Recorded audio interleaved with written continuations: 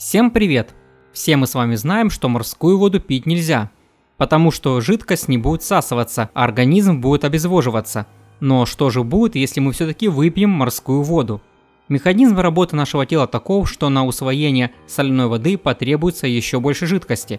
Баланс точно будет не в пользу человека. Если мы выпьем морскую воду, то она попадает в кишечник. В результате, при попадании в кишечник такого раствора происходит не совсем обычный процесс – Морская вода в таком случае не всасывается, а наоборот, из плазмы крови, а также межклеточной жидкости поступает в просвет кишечника. В дальнейшем, если же употреблять воду дальше, это приведет к обезвоживанию, а не к утолению жажды.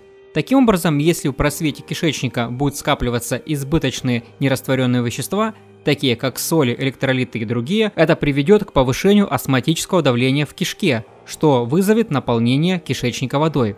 Морская вода также проходит через почки, что влияет на возможность образования кристаллов соли в почках при длительном употреблении такой морской воды. Медики говорят, что в морской воде, как и в водоемах, содержится огромное количество живых организмов, в том числе бактерий, которые приводят к развитию опасных заболеваний. Морская вода действует на организм человека наподобие как лактоза.